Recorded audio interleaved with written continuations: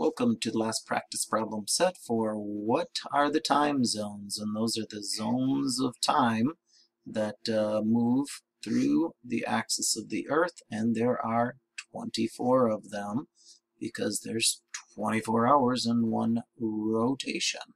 So basically, we're going to take a look at the main ideas here, and that is why is time different around the world? It's 24 hours in a rotation, so it's later in the day when places have seen the sunrise because it's that therefore late, and it's earlier if you're waiting for. So it's if you're waiting for the sun to rise, it's a lot earlier than if the sun has already risen.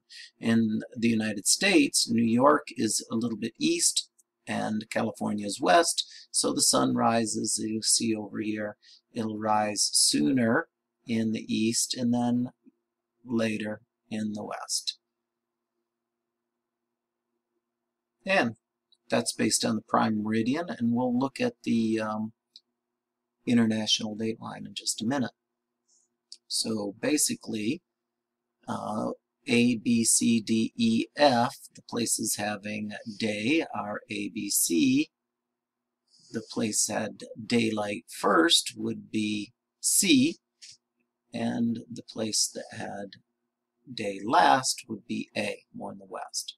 Therefore, Earth is rotating from east to west. As you go west, the daytime becomes earlier, and as you go east, the day the time becomes later.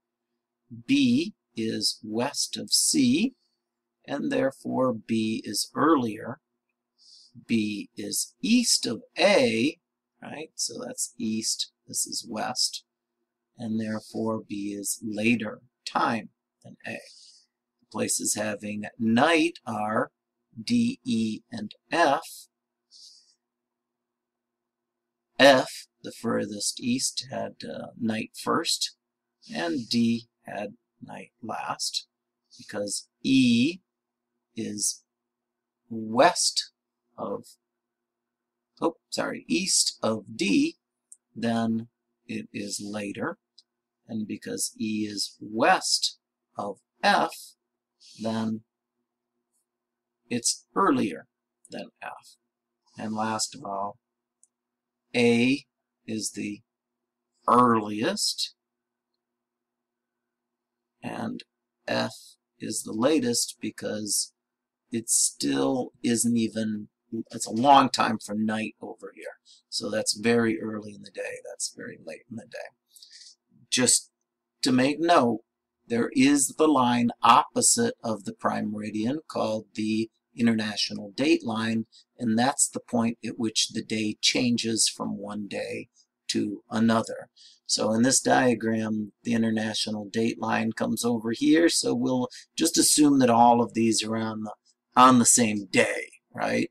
If you go a little bit further, it's actually not the same day, it's a different day, so we will uh, and notice it doesn't go straight because there's stuff out there and people don't want to live in the same country and, and have be in a different day.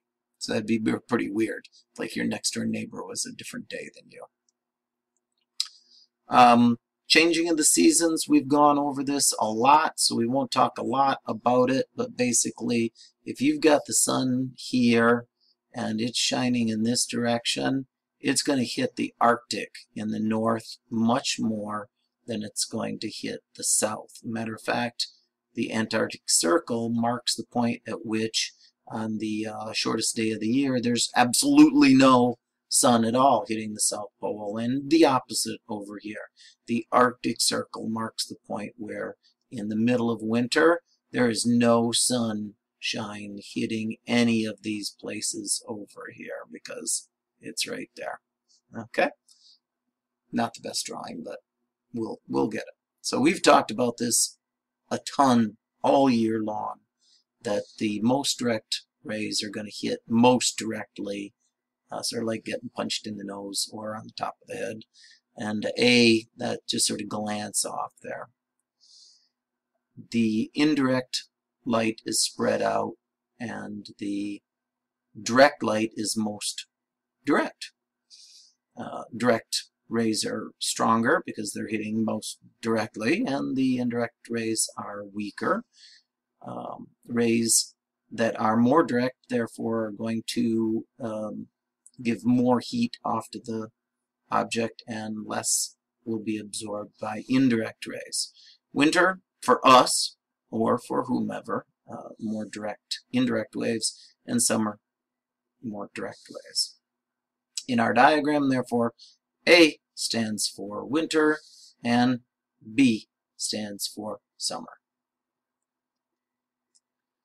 Again, our little mistake here in the diagram that they apparently used over and over and over. Earth revolves around the sun. In this, we're going to say in a counterclockwise way. Wrong. The Earth revolves, but the Earth's axis does not change, so that direction is going to be the same, pointing at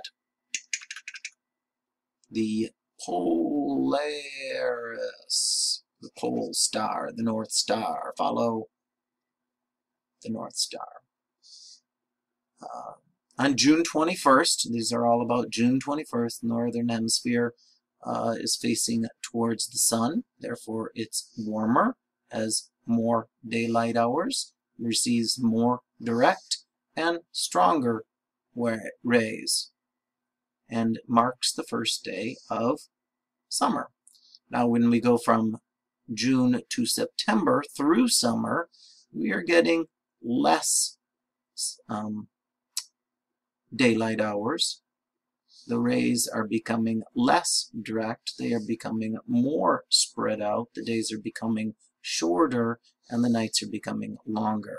And I just like to point out that that is called summer vacation, uh, even though it's getting less and less summery.